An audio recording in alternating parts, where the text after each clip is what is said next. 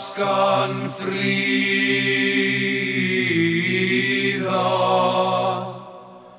lest ég vildi líða.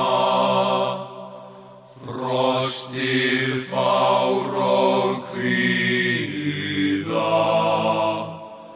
fyrir en þig